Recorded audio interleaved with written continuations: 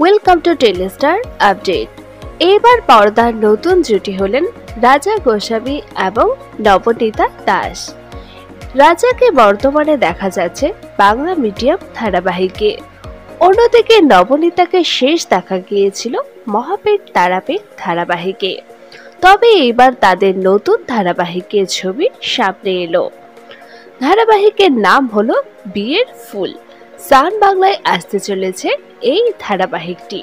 যদিও প্রথম প্রমোতে দেখানো হয়নি নবনীতা এবং রাজাকে। এর আগে ছদ্মবেশী ধারাবাহিকে একসাথে জুটি বেঁধেছিলেন রাজা আর নবনীতা।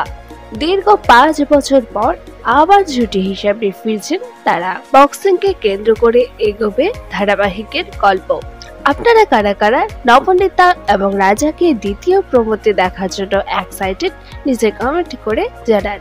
এই ধরনের আপডেট আর পাওয়ার জন্য চ্যানেলটি সাবস্ক্রাইব করে পাশে থাকা বেল আইকনে ক্লিক করতে ভুলবেন না।